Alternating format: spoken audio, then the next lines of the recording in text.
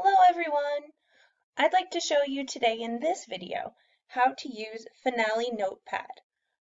This is a program that you can download to your computer at home and use from there. You don't have to use it on the internet. Be sure if you are going to download this program that you have an adult that can help you because it is going to ask for an adult to be in charge of the download.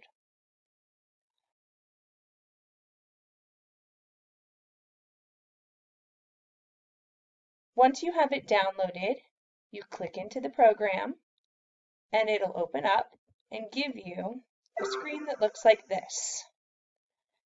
It wants you to set your title first. So in this case, I will set a simple title.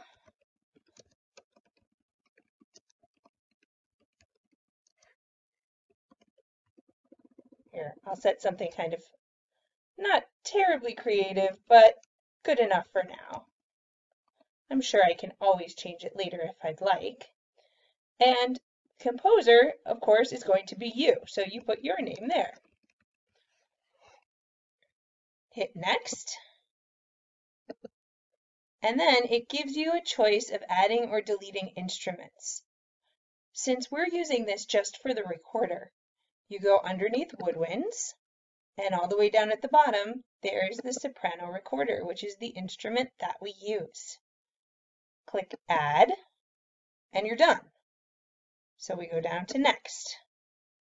Select your time signature. I'm going to keep mine in 4-4 time. You can select how many measures you want. For this project, remember we want at least 16 measures, and you don't need to change the key signature. Once you finish that, it will give you your piece of music, and you can see everything is already there in terms of how many measures you're going to write. If you look at the toolbars at the top, they look a little complicated at first, but we're really going to be using this toolbar in the middle the most, and not even all of it. Here are all of your different note choices, whole note, half note, quarter note, eighth note, sixteenth note. They even have 30 second notes, but please don't use those. Over here, whole rest, half rest, quarter rest, and then the smaller rests as well. So once you want to get started, you can see that they have here a purple note that is ready for you. And you can start your song with whatever type of note you'd like. They're suggesting an eighth note. I think I'm going to go with a quarter note. So I will click on quarter note, come back down here, Sure, why not? I'll use a B first. Remember, for this project, you can use any of the recorder notes that we know so far, from G all the way up to D. And I'd like you to use a variety of different kinds of notes so that it has some real interest to it. Let's see. Maybe next I will keep going with a few of them.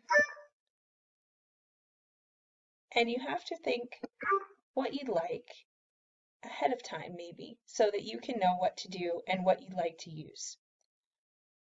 Something you might want to think about is pre-planning and then coming in and writing your song. It's up to you how you'd like to do it, but I know that for me, that usually works pretty well. Anytime you want to change a type of note, you just go up to the top here and you click. So for example, if I want to change this last note that I put in, this G, I can just hover over it and it will change it for me. So maybe I want to make a pair of eighth notes there. If you decide you don't like what you have, you can go back and use the eraser. So if I go up here and click on the eraser, should give me what I'd like. I come down, see now it's showing me the eraser with the little arrow. I can point to the note and say, I don't want that one anymore. And it takes care of it for me. So that's a pretty easy way to be able to erase notes and change things that you really decide you don't want anymore. Perhaps instead I want to use a quarter note after all. Let's put in a few more notes.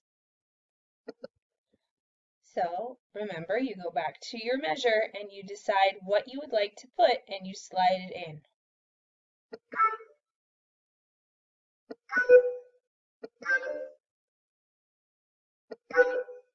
Maybe what you've done is maybe you don't want the note that you've chosen. You can always change it. You could go back and erase it and put it in again. But if you want to keep it as a quarter note, for example, like this one, you just don't want a B, you want something else, you can hover over it and drag it down to where you want it, or drag it up to where you want it. And that's a pretty easy way to fix it, just in case the note type is correct, but you decide you want a different pitch. So let me add in just a few more. How about that last one? Why don't I make that a half note?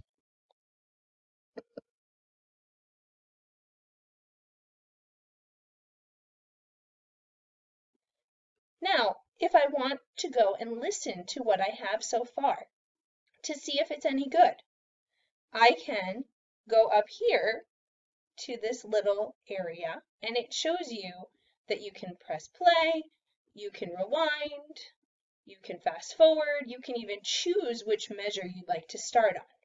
Now, since I only have a little bit written, I want to start from the beginning, so measure one is perfect. I just press play and then I can hear what I have created so far.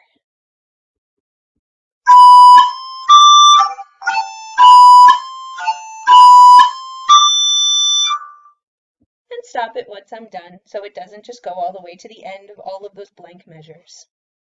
Now, maybe I decided I don't want some of this to sound the way that it did. Remember, again, you can change it a couple of different ways. You can change the note type itself by dragging it up and down. You could also use the little eraser. It's up to you. I think what I will do is I will erase this one and I will change this one to that.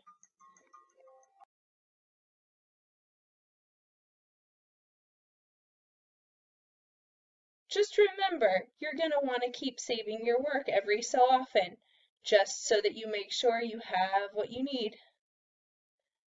Once you do, it's going to bring you to a screen like this, save as, and you put in the title of your song. So I called this my awesome song. And then you hit save.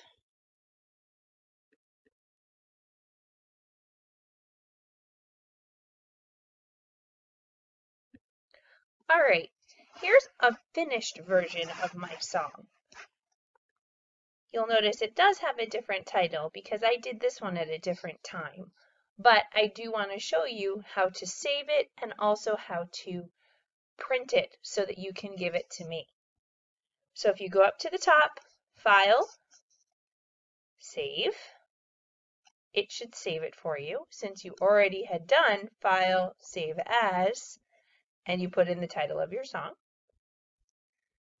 If you want to print it to a PDF so that it's easier to email it to me or to print it out and send it to me, the best way to do that is to go up to File, hit Print,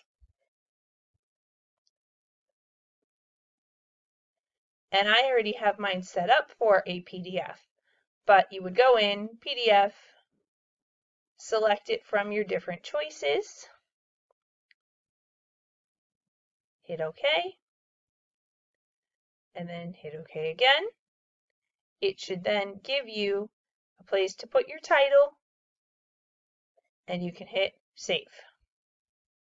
And it will save it for you as a PDF. This way, you could take this and email it to me, or you could put it on a flash drive and give me the flash drive and I can pop it into my computer and save a copy for myself. Or you could just print it out on paper and hand me the copy on paper as well. Whichever one works best for you. I'm not picky. You, as long as I get the work, then I'm a happy person.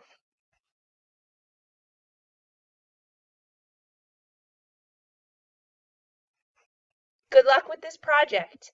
I'm really excited to hear what you come up with. Don't forget, you don't have to just hand it in to me. I also am going to want to hear you play it. So make sure you don't write something that's going to be too difficult for you to play. That would be really sad. You want to be able to play your own work, so make sure you practice it and you're ready to do both when I hear you. Good luck!